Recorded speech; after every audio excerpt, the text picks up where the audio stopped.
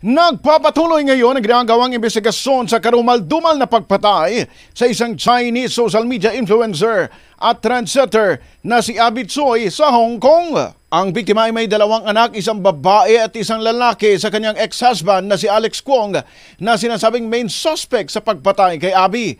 Ayon kay Bombo Jinga Biazon, direktor sa Hong Kong, na-discover ang nakaririmarim na pagpaslang sa modelo matapos matagpuan ang kanyang pirapirasong katawan sa refrigerator at maging sa sopas.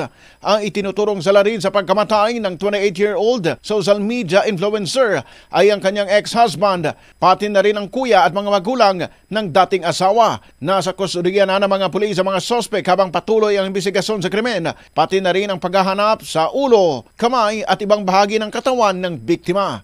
Si Abby ay kinasal noong 2016 sa anak ng founder ng Tom Jai Yunnan Mixan, isang fast casual restaurant chain sa Hong Kong na may branches din sa mainland China.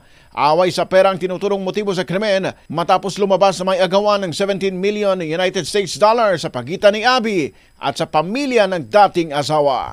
Ayon sa Hong Kong Police, ang kanilang mga suspect ay ex-husband ni Choi at ang pamilya nito.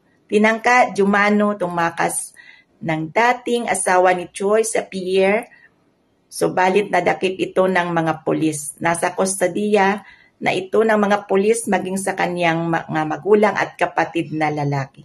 Si Bombo Jinga Biason. Para sa Bombo Network News, ito si Bombo Ayan Gahete. Para sa number one and most trusted radio network in the country, Bombo Radio Philippines. Basta Radio!